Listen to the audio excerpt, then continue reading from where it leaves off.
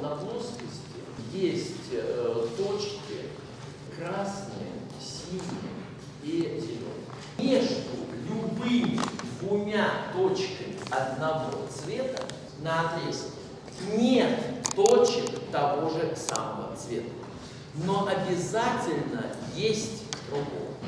Ну, например, представьте себе, э, красное, красное не может быть, чтобы здесь была красная, А может быть два раза? а вот синее или зеленое, Да, конечно. да, или там, скажем, там, две синие. Какое наибольшее количество точек может э, быть на плоскости?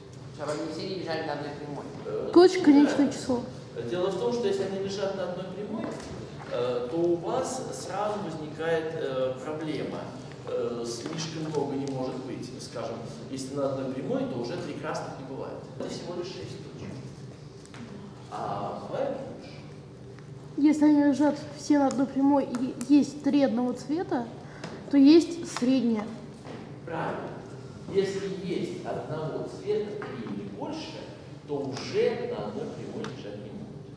Поэтому, если точек больше, чем 6, то ясно, что на, на прямой лежать не могут. Есть такая знаменитая картинка. Треугольник,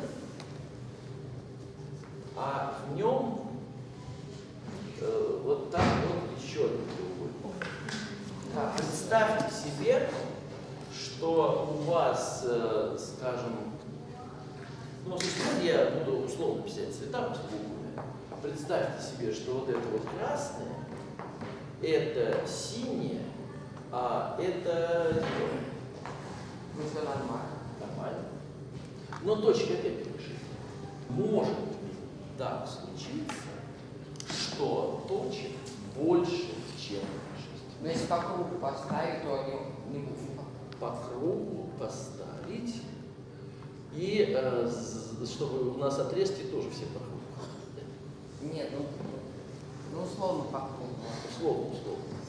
Придумайте явную ставили, отрезки от этого кривыми не станут. Схема где семь точек.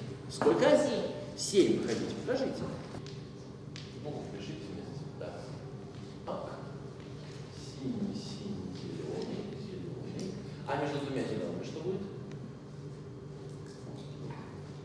Так, а здесь что будет? Получается такой уход в бесконечность, видите?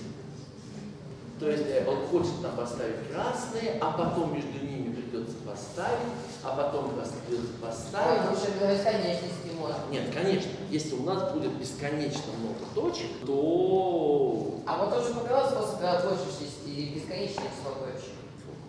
а все-таки в задаче-то имеется в виду, что точка конечная. что ли?